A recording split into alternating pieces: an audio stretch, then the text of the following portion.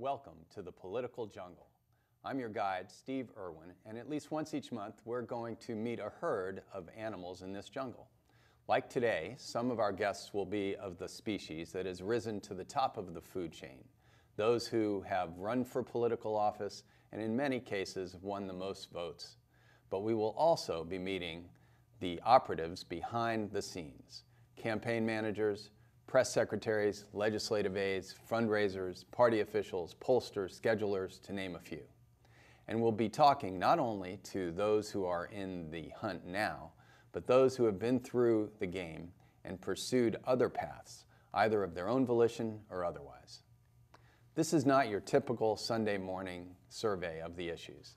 If you're a wonk looking for meaty policy analysis, you may leave a little hungry. Rather, our prey is the person, the animal itself. Who is this individual? Who inspires her? What motivates him? What makes him sweat? What keeps her up at night? Where has she been?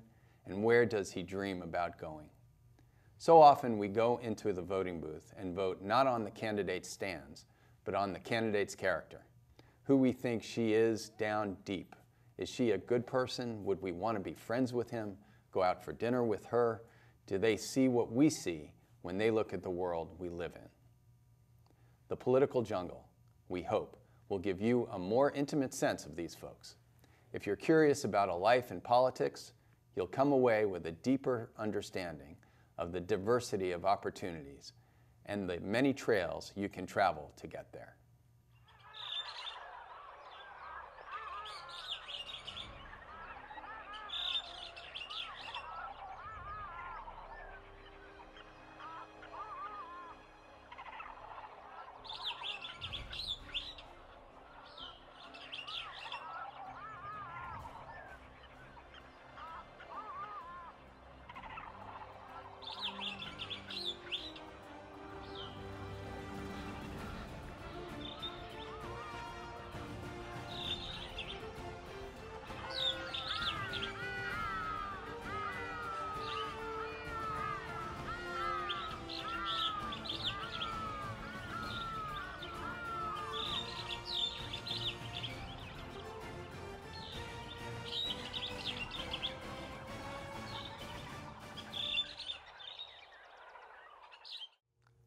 I'm thrilled that our first guest in the political jungle is Councilman Corey O'Connor. Welcome, Corey. Oh, thanks for having me in the jungle. Oh, it's great. yeah. It's great. Thanks for being brave enough to come out. Oh, no problem. We're, uh, Corey, was, you were elected in 2011. You started, yes. entered office in 2012, and uh, the youngest member of City Council.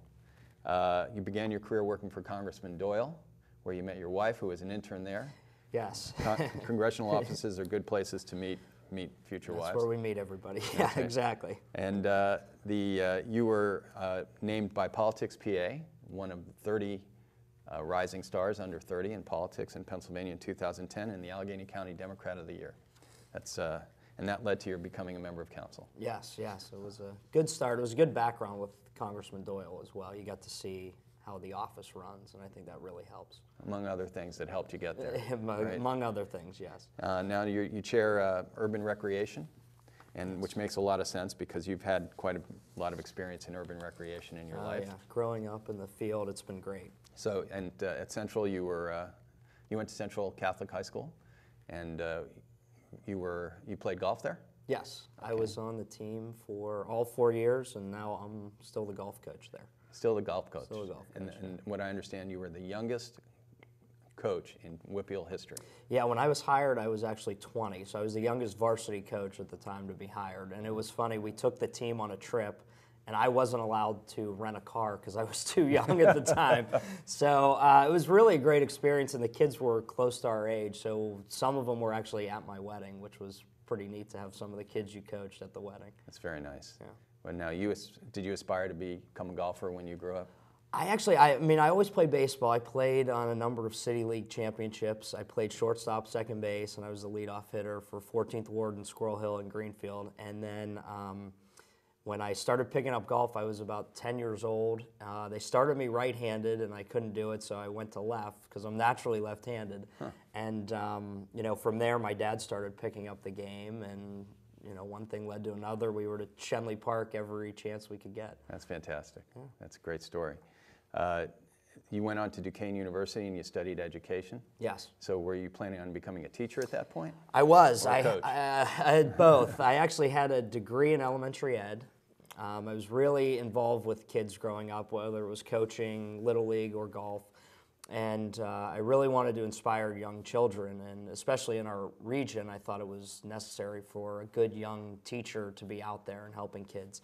Um, and I was going down that path, and then um, when my dad passed away, everything sort of changed. And um, you know, we just I decided to take a different kind of shift in helping people in the region. I think it was it was not just helping kids in the classroom, but then after my dad passed away, the outpouring from the residents of Pittsburgh, you just wanted to give back and help them as best we could. And you've done that in a lot of ways, not only through uh, your service on council, but you're on a number of uh, boards and authorities, including the Stadium Authority, which makes sense in your athletic interests. Yes. The Children's Home of Pittsburgh, which is right there in Squirrel Hill, which is that part of your district. Actually, it's Uh, it's it's the one on Penn Avenue. Okay. Um, and then um, I recently I just came from a new board that I was appointed to was Alcosan. okay. So that is a big endeavor, especially into the future when we're talking about green infrastructure and jobs that we can create from green infrastructure here well on into the next 40, 50 years. So I asked you, Corey, to bring something from your office that will tell a little bit about you, a little bit of show and tell. What did you bring for us? Yes, today? I brought a very interesting picture. It was, um, it's my dad on the right, um, Michael Jordan in the middle, and then me to the way left. Um, obviously, my dad, I have a number of pictures of him in the office, but this is always a great story that I tell. When people come to the office, they always see Michael Jordan first. they, they clearly can't see us because we're so much shorter than he was. But um, what happened was it was the Mario Lemieux Invitational. Uh, my dad was invited to play, and somebody backed out. So they said, "Would you? Does your son want to play?" And I said, "Oh yeah, definitely." And we went there, and the times we thought we were teeing off at 11:30, and it was I think it was like Rollie Fingers or something. I said, "Oh, that's nice, whatever." And then there was a shift, so we got to the first tee, and they introduced Michael Jordan, and we're all standing there, and then a throng of 300 people come running over the hillside. So now, if you weren't nervous before, you were Yeah. really nervous at that point. And Jordan smoking a big cigar. Um, he was really nice to everybody, and he's supposed to hit last. Well, Michael didn't follow the rules, and he got up there and just rips a ball right down the middle of the fairway. Uh, my dad looks at me and says, "Well, you better go next." I said, "Okay." So I get up, and I was still pretty good at that point because I could play a lot of golf in high school. I hit it right down the middle. My dad, who wasn't a very good golfer, he's a bogey golfer, hit it down the middle. So now it was up to our last player, and he hit a big golfer's term, a shank, into the crowd, and it bounced and it hit a couple people, and I just felt really bad for the guy. but it was something unique that you know the following year my dad ran into Michael at the same event, mm-hmm. and he was sort of just chit chatting with him. And I think that was the best part of that whole story was you know my dad was representing the city mm-hmm. and got to meet an international player, and he was still talking about Pittsburgh when he came back. And that's why I sort of keep this around to tell that story. And That's I, I did beat him on the front nine. We got we got rained out on the back, but I beat Okay. him on the front nine. So Uh, and wh- which course is this? this was Mr.? at Nevillewood. in Nevillewood. And do you remember what you shot? I had 37. He had 38. What was your uh, handicap when you were at your best? I was scratched. Now, And now you're on now city with council, work, yeah, it's probably like a five or a six. It's getting up there. Yeah. Great. Well, thanks for sharing that with us. Yeah. Thank you. Um, what what you learn from golf? Uh, any lessons along the way that uh, that you've carried with you Oh, I think in your you know. city council career? Yeah, I mean, golf is a game, and it's great. I'm on the first tee board, and they really teach kids about life lessons, not just on the golf course, but outside of the golf course. And you know, golf's a great sport because you're not always going to hit the best shot, and you're going to be stuck in a certain area you don't want to be in. But it's the mental approach that you have to get your way out, mm-hmm. and I think that's why golf is such a great, you know, catalyst into what life is actually all about. And that's why it's a good sport. And the mental ability of a golfer, I think, is up there with any other sport you can see.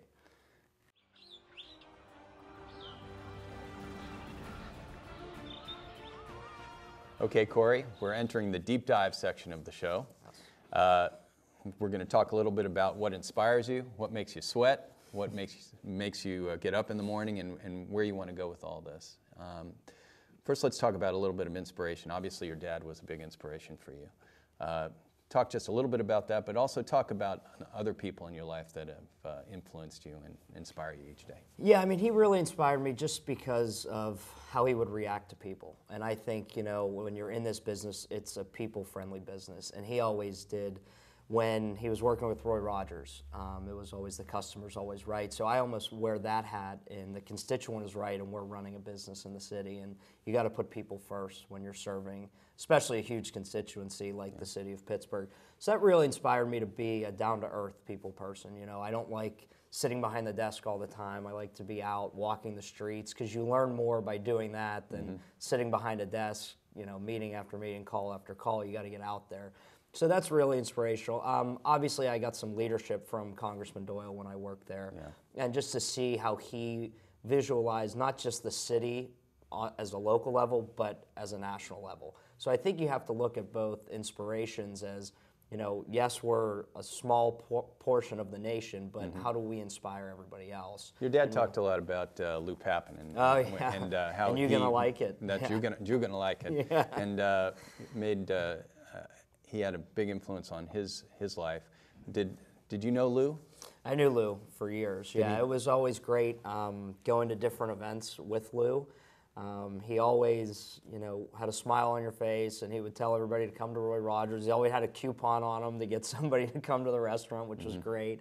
And then all of his kids and grandkids as well. I always remember going to the Pappans around Christmas. We always, my dad would either take us to lunch with Lou or we'd mm-hmm. meet him somewhere for dinner, and just to hear them talk about the old restaurant stories. Because, you know, right now the city, we're really booming with restaurants, and everybody knows the restaurant business is probably one of the hardest to do. Sure. So to see it on that level from somebody that came over from Greece, really started with one or two chains, and then really built it up, and now, you know, their families in real estate today. Right. So it's just amazing how somebody that has a passion for it can drive as far as Lou got. But you, you didn't go into the, uh, the, into the restaurant business. You know, my, my dad was a was a butcher, and, and I'm a lawyer now yeah. at Leech Tishman, and some people say I did go into the family you business. did go into but how about you? You you uh, didn't go that direction. No, I what what would happen? My sister actually managed a number of the Roy Rogers, and they had a restaurant in Oakland.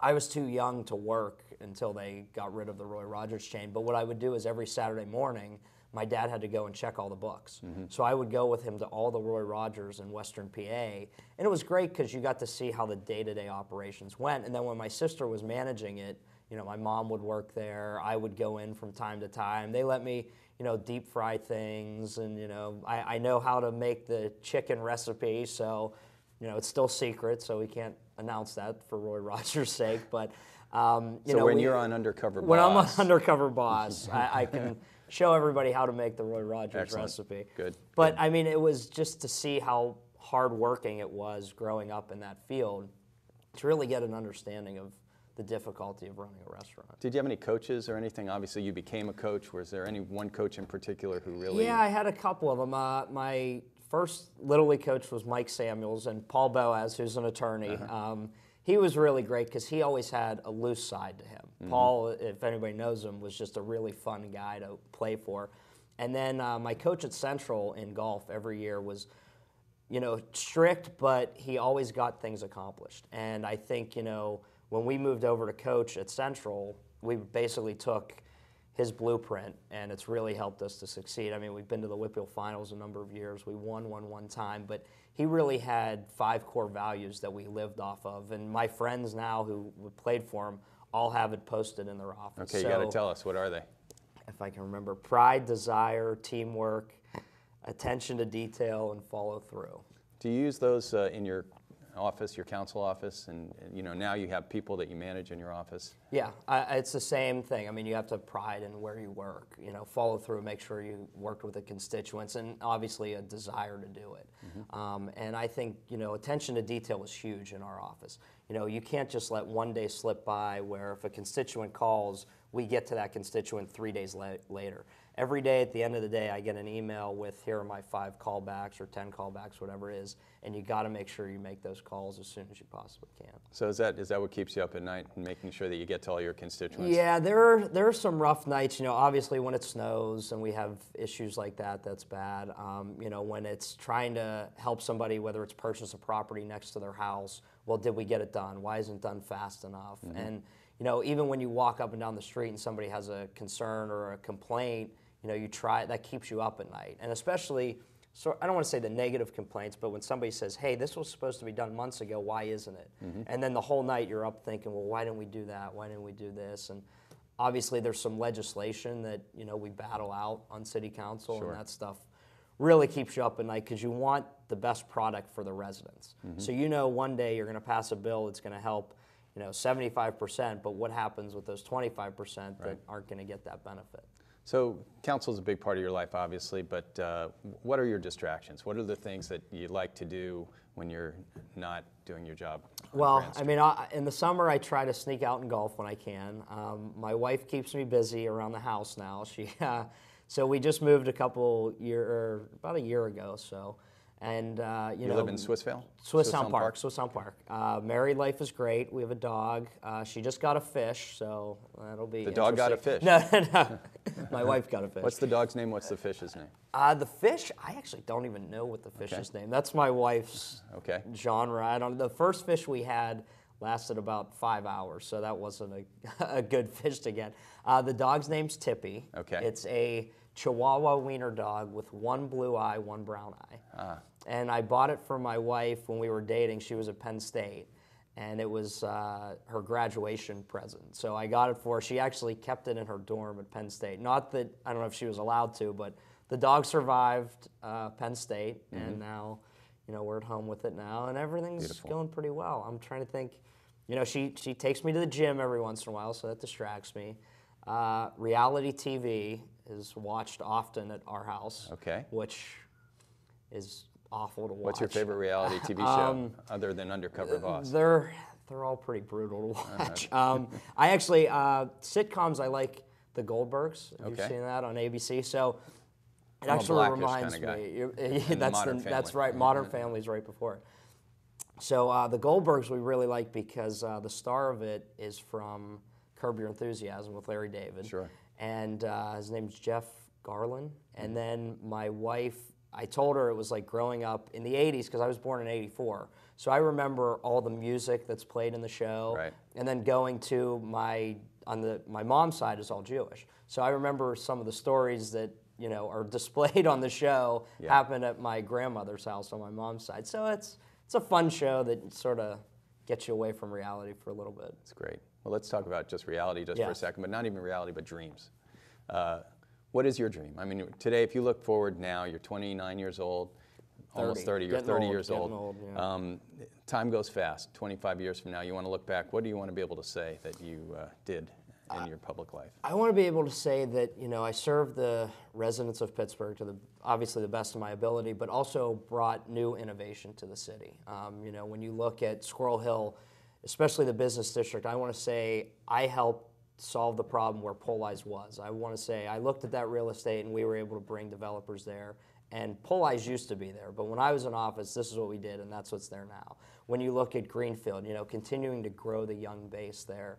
Lincoln Place providing more and more services. You know, they want some new things at their park. So that would be something to look back on. And then obviously Hazelwood, when you look at the Almono site, was an old brownfield. Sure. And, you know, I want to look back, you know, in the 25 years and say, before I got into council, nothing was done. Right now, we have roads, we have jobs being constructed there, we have major corporations that are locating there. And without us on city council working together to get that, you would still be seeing a brownfield site. Are you going to move there? If, if time comes available, yeah, I think it would be a great site because you're right on the river. Yeah. It's five to 10 minutes from everywhere in the city of Pittsburgh. Yeah. And more and more younger people are moving here, taking you know old houses that we have in Hazelwood, which are very unique because some of them have four or five bedrooms, mm-hmm. and they're starting to revamp them. Right. So now you do it not just here, but in Lawrenceville as well. You're seeing more and more young people coming back, revamping the old houses that we have and starting to live there. So if uh, worst comes to worst and you don't have the opportunity to continue because you have to get elected to do this kind of thing, Right. um, and uh, you have to choose another path, what, what, if you weren't doing this, what would you be doing? I think I would be helping the public in some way, um, whether it goes back to teaching and helping young educators in the city of Pittsburgh, so that you know we ensure that the next generation of Pittsburgher lives here and are qualified to do good jobs in the city. So that would be one. Um, you know, there's also other public sector jobs that you can do helping people, and and that's really our passion. I mean, everybody in the family, whether it's my brother who's a priest who who helps people day to day on whether it's a confession or not, um, my sister who you know has worked for a number of years just at various jobs in the community, actually just started at uh, Color Me Mine up the street. So Right. you know things like that, and my mom works at the Caring Center downtown. So it's always helping people and. So I feel like if I wasn't on council, I'd still be out there doing something like I was that. an attorney for the um, family that built kind of Color Me Mine. Oh, there you go. And I have a little spot. tile with Uh, for the I'll have original to go in and check it out, up there. yeah. Yep. So Corey, I was a Senate staffer in Washington D.C. and I knew that I had to prepare my boss every time with talking points and these are the things that no matter what, every media consultant will tell you, the answer to the questions are the points that you want to make. If I haven't asked you the question that's given you that opportunity yet, what do you want to come away from this show with people knowing about you?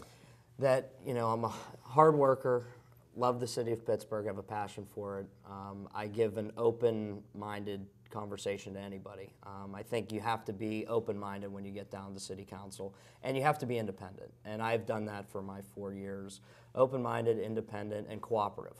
I think you can ask any council member, you know, when we put a bill out there, we always end up with eight or nine votes. So I think it's collaborative as well. Mm-hmm. And that's, you know, really how you push a city forward. Forget the background noise, but just get to the heart of it. And at the end of the day, I always feel whatever the issue is, whether it's simple or whether it's, you know, very polarizing to the population, you're going to end up with an, an answer. Especially for me, you got to get in a room and get the job done, and that's you know what we always try to get out. That we are an office, and myself, we can get people in a room and solve the problem.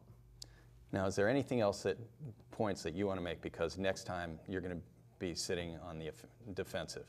So it's your last chance to say what you want because I control the agenda. Oh, you control the agenda? No, I, I think I'm pretty good. That's you Okay. know that, that's it. yeah. Good. All right. Well, Yeah. get ready for rapid response. Rapid response. I'm ready. Corey, it's time for rapid response. Okay. Uh, you know that uh, one of the most effective political uh, tools that were developed over the last 30 years is because the speed of communications is so fast that as soon as you see something that may require a response, that you have to respond and you respond and you have to respond rapidly. So here's how it goes. Uh, I will say to you something like Snapchat or Instagram, Okay. and you pick one. All right. All right? Sounds good. Try it. With Snapchat, Yeah. uh, Instagram, Okay. Uh, Twitter or Facebook? Twitter, because my Facebook account doesn't work right now.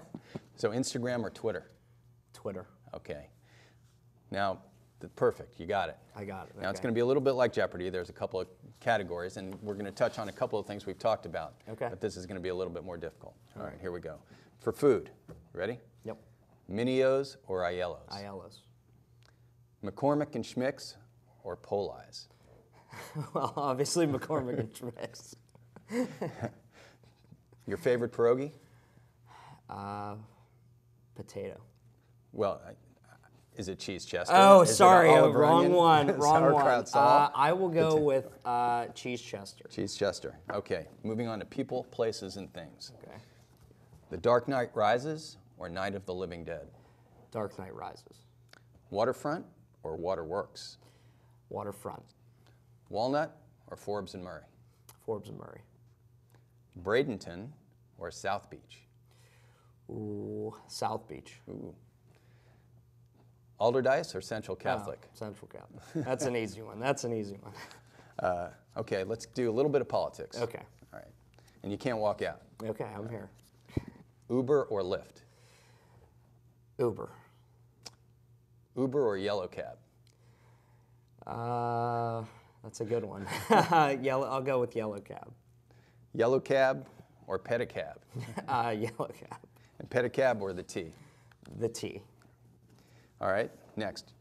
UPMC or Highmark or MedExpress? Oh, wow. Um, my mom works for Highmark. Um, I'll go with MedExpress. We'll get rid of the big guys. This guy's been in the politics business for a while. All right, PG or the Trib?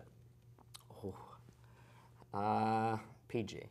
Now, the Trib endorsed you also. I know they both did. They put me on the tough You spot. wanna change your answer? I think there's more readers in the city. Too late. You got it. PG. I got you. All right, Chronicle or Courier? Uh, Chronicle. Okay. Here we go. That's a good one. Cultural institutions in Pittsburgh. Okay. Mac Miller or Wiz Khalifa? I coached Mac Miller. Wiz Khalifa was in my neighborhood. Uh, I'll go with Mac. Okay. Uh, we got Little League now. 14th Ward or Squirrel Hill baseball? Oh. Uh, I played 14th Ward and I coached in Squirrel Hill. Yeah. Um, geez, that's a tough one. Uh, I'll go with Squirrel Hill. Okay. Casinos, Rivers or Meadows? Uh, Rivers. Kennywood or Sandcastle? I don't ride roller coasters, but I'll, I'll go with Kennywood. They have potato patch fries, so I'll go there. Okay, well, this might be a hard one since you don't ride roller Okay. coasters, but I can. I mean, I've been on them, so Thunderbolt or the Jackrabbit? Jackrabbit Excellent. An aquarium or aviary? Aquarium. All right, finally, the last topic, one that you, politics and religion are tough ones. Here's the religion. Religion. The passion or the wild things? Oh man. Uh, I'll go with the passion. All right. Nine candles or ornamental conifer? Nine candles. Pope Francis or Father Terry? I, I got to go with Father Terry. Yeah. And last but not least, Oakmont or Schenley? Schenley. There you all go. the way. I, I always tell people it's harder to hit over moving traffic and people walking than to hit over any bunker at Oakmont. Well, it helps that Schenley's named for your dad. Yeah, exactly. Yeah, that was an easy one. Yeah. All right, great responses. Thanks for Well, playing. no, thank you. Thanks for having me. Yeah. Good. How did I get to be your host? Well, if you think the crocodile hunter himself has come back to lead you through a different kind of jungle, you're misguided. This Steve Irwin is the offspring of two kids who met at a Young Dems dance in the 50s. At age seven, I was canvassing door to door for candidates. I've worked for D's who became R's and R's who morphed into D's. I've raised money, served as legal counsel, spoken as a surrogate for folks running for everything from district justice to President of the United States. I've worked for mayors, governors, senators, attorneys general, and one extraordinary federal judge. With nearly 50 years of political experience, I've become intimate with countless folks in this business of all stripes, and I'm excited to scope them out with you. So come on and safari with me next time in the political jungle.